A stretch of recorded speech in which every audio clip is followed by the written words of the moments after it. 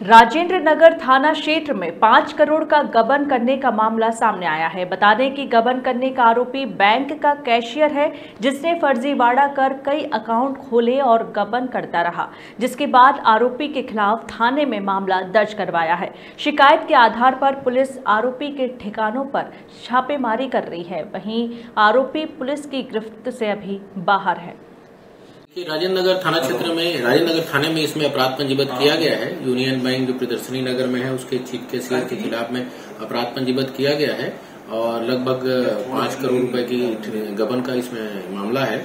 इसमें अभी जो विवेचना में कुछ जानकारियाँ मिली हैं कि आरोपी ने छह सात अलग अलग लोगों के नाम से बैंक खाते खुलवाए थे और उनको इनके एवज में कुछ पैसे भी दिया था उसके द्वारा और उस खातों का उपयोग अपने नाम से वो अपने अपने द्वारा किया जाता था उसके द्वारा। और इसमें भी और विवेचना की जा रही है। विवेचना में सभी साक्ष्य संकलित किए जा रहे हैं, उसके बाद इसमें आगे कार्रवाई की जाएगी।